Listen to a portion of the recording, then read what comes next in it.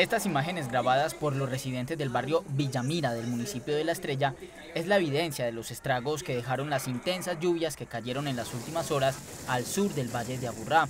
Con el agua casi hasta la cintura, las familias intentaron salvar muebles, electrodomésticos, colchonetas y demás enseres que quedaron flotando por el nivel del agua que alcanzó el metro de altura.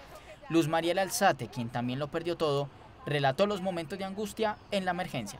Mucho desespero porque yo acababa de llegar y nos acostamos y al instante me, dijo mi hijo que mami, mami, levántate que está, nos estamos inundando. Cuando me levanté el agua me llegaba como por acá y en cuestión de menos de cinco minutos ya me llegaba el agua acá en toda la cadera. Jorge es otro de los damnificados. Relató que cuando salió evacuó su vivienda.